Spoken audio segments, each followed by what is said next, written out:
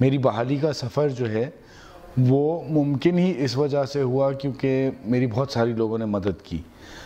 میں بہت خوش قسمت مانتا ہوں اپنے آپ کو اس سلسلے میں کہ میری زندگی میں اس طرح کے لوگوں سے واسطہ تھا یا تعلق تھا یا کچھ خدا کی طرف سے تحفہ تھا، کیا تھا اللہ جانے۔ لیکن بہت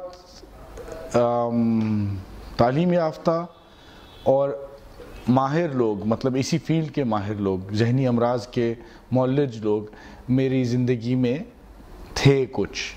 اور